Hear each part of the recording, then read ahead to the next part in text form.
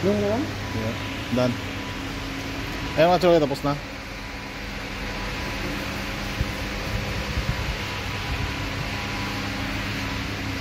Kabila din, tapos na. At tanggalin na yung plastic. Para maano na to, para ma, pag matuyo yung pintura, parking na sa labas. Double decker to na BCI. Ayan.